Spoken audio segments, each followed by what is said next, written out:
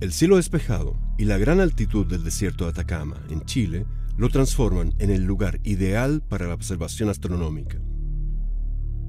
Los observatorios de ESO se sitúan en el remoto desierto montañoso y realizan impresionantes observaciones durante la noche.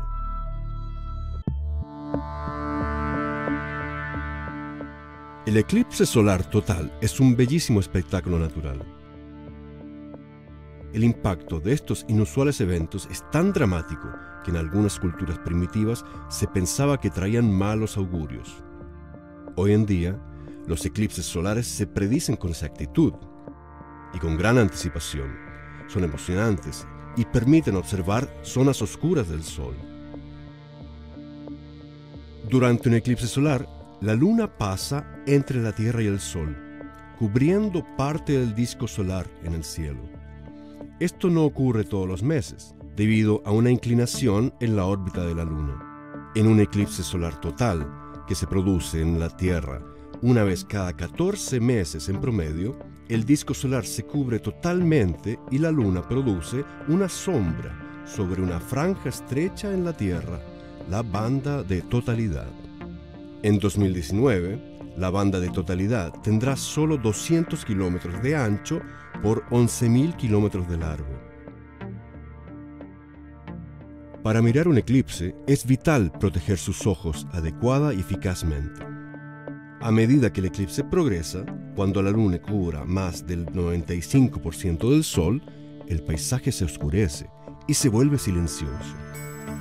En el cielo, sobre el fondo oscuro, aparecen planetas y estrellas que de otro modo estarían opacadas por la luz del Sol. Pocos segundos antes de que el Sol se eclipse por completo, aparece su atmósfera superior, la corona solar. Será como ver un anillo de diamantes en el cielo. A continuación, desaparecen los últimos rayos de luz solar, las perlas de Bailey. A partir de ese punto, comienza el eclipse total. Durante el eclipse, llamaradas de plasma de la corona solar fluyen visiblemente desde el Sol. Estos filamentos son 10 millones de veces más tenues que la luz solar y pueden verse únicamente cuando el Sol está completamente oculto por la Luna. En la silla, la totalidad tendrá la duración de 1 minuto y 48 segundos y el Sol estará cercano al horizonte. Cuando el Sol está totalmente cubierto, el cielo se torna azul oscuro, a excepción por los colores del horizonte. Planetas y estrellas emergen en los minutos de oscuridad.